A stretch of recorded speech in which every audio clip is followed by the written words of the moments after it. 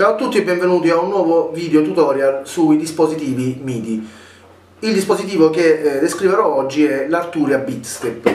Eccolo qua l'Arturia Beatstep, è un dispositivo eh, secondo me meraviglioso e geniale. Il Beatstep ha eh, due funzioni eh, principali, funzione di controller MIDI e funzione di sequencer, tutte e due utilizzabili con lo stesso dispositivo, questa è la cosa secondo me geniale perché eh, con un dispositivo ne abbiamo due. Naturalmente non dimenticatevi di iscrivervi al canale per rimanere aggiornati sui tutorial e su tutto ciò che inserirò all'interno del canale, video musicali e qualsiasi altra cosa. Passiamo ora praticamente a vedere come il Beatstep eh, può essere gestito e come il Beatstep eh, lavora sulle, sulle DAW.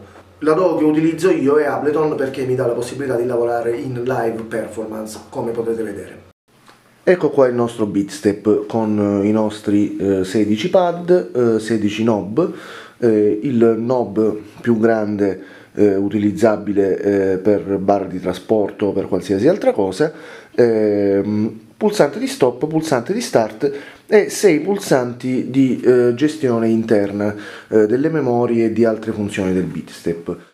Una cosa interessantissima del Beatstep è il, um, la possibilità di avere anche l'uscita MIDI out, quindi eh, noi nel Beatstep non abbiamo soltanto l'uscita USB da collegare su um, computer, PC, Mac, uh, qualsiasi altra cosa, ma eh, anche un'uscita MIDI out che può essere per esempio utilizzato con un sintetizzatore o addirittura con strumenti analogici avendo anche um, il gate, il CB out eh, quindi è davvero molto versatile.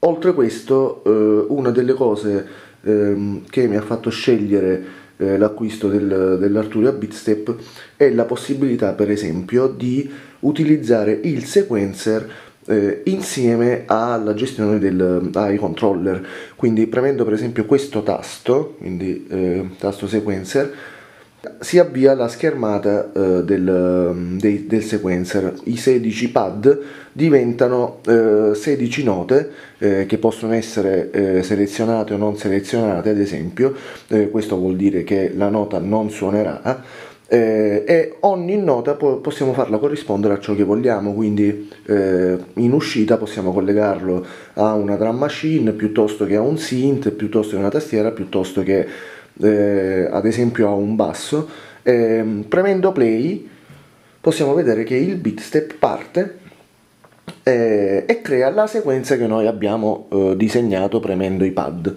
Quindi suoneranno le note ehm, in blu, quindi le note illuminate, e le note non illuminate non suoneranno.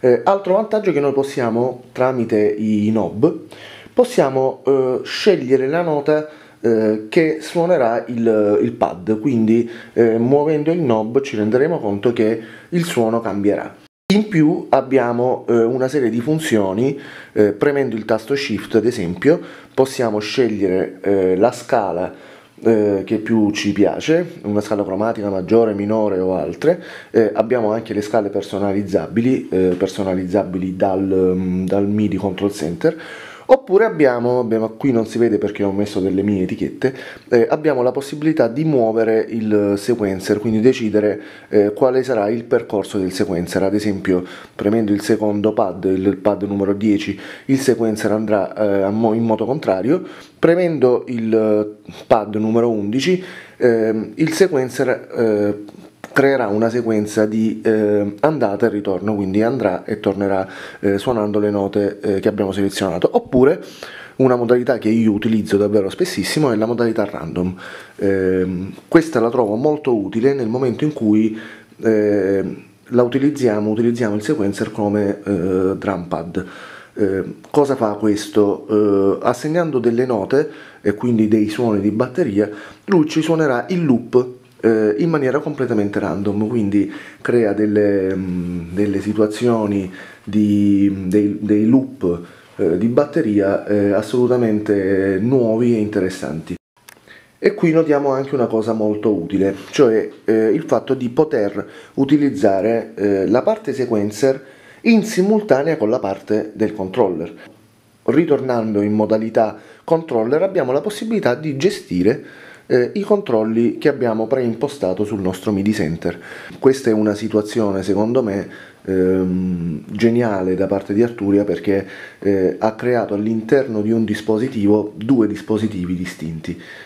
Adesso proviamo a vedere come eh, è possibile personalizzare e quindi gestire eh, una DAW quale può essere Ableton con il nostro Arturia Beatstep. Eccoci alla schermata di Ableton, eh, la classica schermata di inizio con due tracce MIDI, due tracce audio, reverbero, delay e master.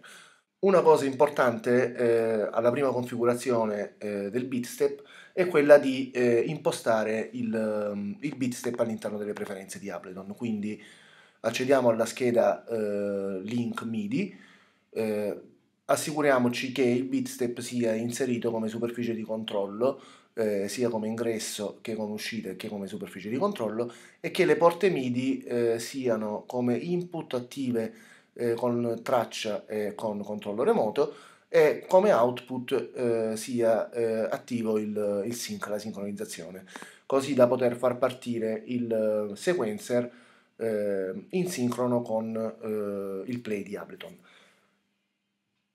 Come impostazione predefinita, una volta attaccato l'USB, il Bitstep eh, ha la funzione di gestione delle clip, quindi della matrice. È chiaro che nel momento in cui noi vogliamo utilizzare il controller eh, per gestire più parametri, dovremo impostare eh, i pad e i knob eh, a nostro piacimento.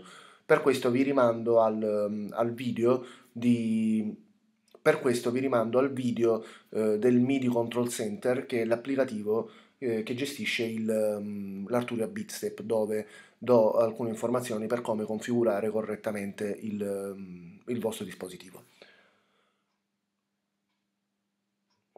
Passiamo alla parte pratica, io ho già preimpostato eh, un, um, una mia memoria all'interno del Bitstep che viene, verrà richiamata premendo il tasto Recall e selezionando il primo pad. In questo modo il mio Bitstep eh, ha i parametri che ho eh, selezionato io. Come ho detto prima, la genialità eh, dell'Arturia nel costruire il Bitstep è stata quella di pensare a un unico dispositivo che potesse gestire più cose, quindi eh, possiamo gestire il sequencer e i controlli. Proviamo adesso a far partire un, um, una sequenza di note utilizzando eh, la sincronizzazione che abbiamo eh, impostato precedentemente. Quindi armiamo la traccia e armiamo la traccia utilizzando la parte controller, quindi io ho preimpostato il pulsante, il secondo pad eh, che accende l'armatura nel bitstep e ho preimpostato che la prima clip eh, venisse registrata con il pad numero 10. Quindi eh, possiamo adesso spostarci nella parte sequencer premendo il tasto eh, Ctrl Sequencer e attiviamo la sincronizzazione esterna premendo il pulsante External Sync. In questo modo, nel momento in cui facciamo play su Ableton, partirà il sequencer sul bitstep. Proviamo adesso a registrare una sequenza. Quindi cosa facciamo? Mando in play e modifico le note del sequencer con eh, i knob eh, associati.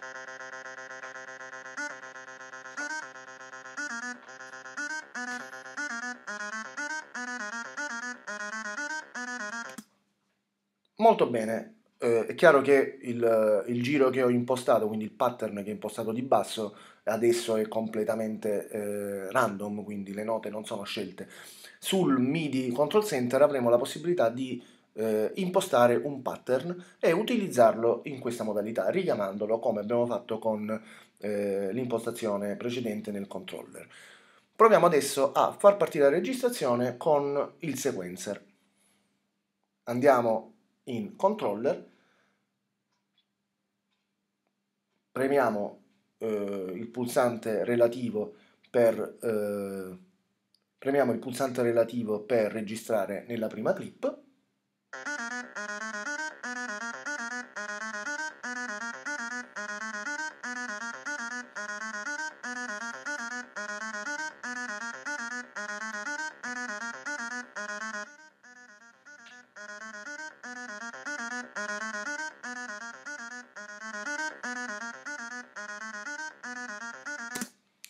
Ed ecco qua abbiamo registrato nostra il nostro sequencer. Se una volta attivato, eh, disattivato scusatemi, l'external sync, nostro, eh, la nostra clip partirà in automatico, registrando le note che eh, abbiamo registrato precedentemente, che abbiamo oh, sì, registrato precedentemente.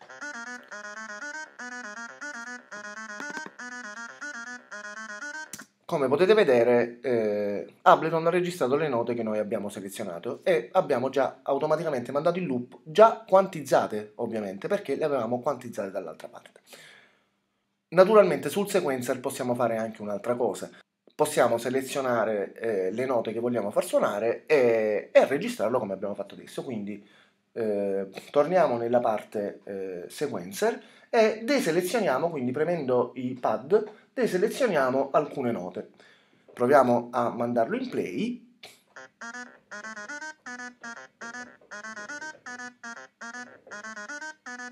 Ecco qua, abbiamo deselezionato dei pad e quindi eh, quelle note non suoneranno.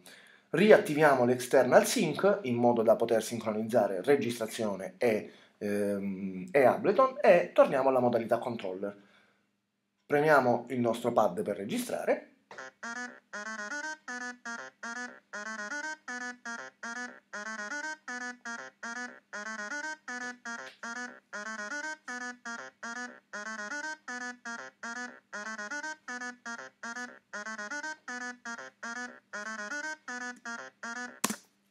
Come avete potuto vedere ho fatto una serie di attività sul, eh, sul Beatstep che hanno, mi hanno dato la possibilità di registrare la clip, eh, stoppare la registrazione eh, dove volevo io, eh, prima avevo anche modificato il volume con il eh, primo knob, come potete vedere adesso, eh, in più ho anche disattivato il sequencer in modo da poter magari programmare eh, per una clip, per una nuova registrazione, un'altra clip, il, eh, il nostro sequencer. Eh, naturalmente ricordiamoci che eh, nel momento in cui eh, premiamo eh, il tasto External Sync, in, eh, in, questo modo noi abbiamo attivato la sincronizzazione con la nostra DAW, in questo caso è eh, il è Ableton. una volta disattivato il sequencer continuerà ad andare ovviamente, quindi dovremo stopparlo con il pulsante di stop così da poter ehm, bloccare la, il nostro sequencer. Adesso che avete scoperto le funzionalità del Beatstep, sono convintissimo che andrete anche voi a cercarlo, anzi eh, sotto nella descrizione troverete il link eh, dove potete acquistare l'Arturia Beatstep. Ricordatevi di iscrivervi al canale così da rimanere aggiornati e seguire tutti i video che verranno postati. Un saluto a tutti e ci vediamo al prossimo video.